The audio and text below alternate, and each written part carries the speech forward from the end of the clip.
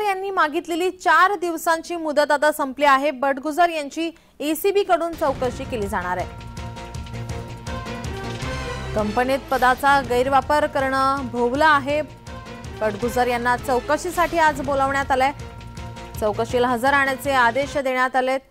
सुधाकर बडगुजर यांच्या अडचणीत वाढ होताना पाहायला मिळते. कंपनीत पदाचा गैरवापर केल्याने एसीबी कडून गुन्हा दाखल करण्यात आलाय. आता बडगुजर चौकशीसाठी हजर राहणार की नाही हे पाहावं लागेल.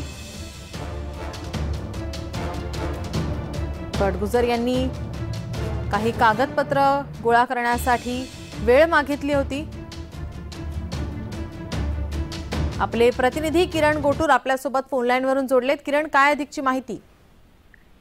खरं तर मागच्या काही दिवसांपूर्वीच या सगळ्या संदर्भात नाशिकच्या खरकरवाडा पोलीस ठाण्यामध्ये एसीबी कडनं गुन्हा दाखल करण्यात आलेला आहे. आपल्या पदाचा खर तर गैरवापर करत आपल्याच कंपनीला ठेका दिल्याचा आरोप बडगुजर यांच्यावरती आहे आणि त्या संदर्भात चौकशीसाठी त्यांना मागच्या आठवड्यामध्ये ब- इकडून बोलवण्यात आलेलं होतं. पण मला काही डॉक्युमेंट्स हवे आहेत कागदपत्र मला मिळ- मिळवायचे आहेत. अशा पद्धतीचं कारण देत मला वेळ हवी आणि वेळ मागून घेतलं होतं बडगुजरने आणि त्यांना वेळ देण्यात आलेली होती. आज त्यांची चौकशी जी आहे ते लाचलुचपत विभागामध्ये केली जाणार आहे. त्यामुळे आज ते चौकशीला जे येतात का हे पाहणं आपल्याला महत्वाचं असणार आहे. आणि एसीबीने सगळे केलेले आरोप हे बडगुजरांनी फेटाळलेले होते. त्यामुळे आजच्या चौकशीकडे विशेष लक्ष लागल्याचं बघायला मिळत आहे किरण किती वाजता त्यांना चौकशीसाठी बोलवण्यात आलंय?